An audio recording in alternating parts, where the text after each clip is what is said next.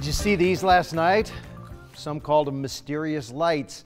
They were seen across the night sky in the Treasure Valley, and this isn't the first time we've received a handful of voicemails shortly after 10:30 with questions if they were shooting stars, maybe UFOs. The answer is neither. Our chief meteorologist, Rick Lantz, is here now to tell us what shot across our sky last night. Did you have your eyes up there? I didn't get a chance to see it myself, but you know, I'm looking at it through pictures like you are as well, as you can kind of see that. And it's kind of amazing when we talk about it because, of course, they're setting up uh, Skylink.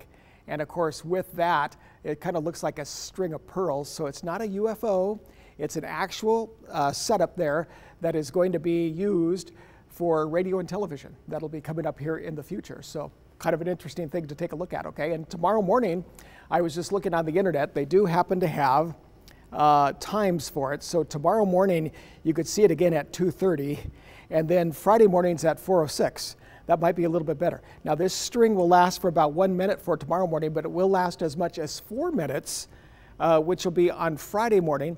Um, let me just mention tomorrow morning that's going to be in the northeast skies. Friday morning will be the northwest skies. Okay, so keep that kind of in mind. Now, if you look outside,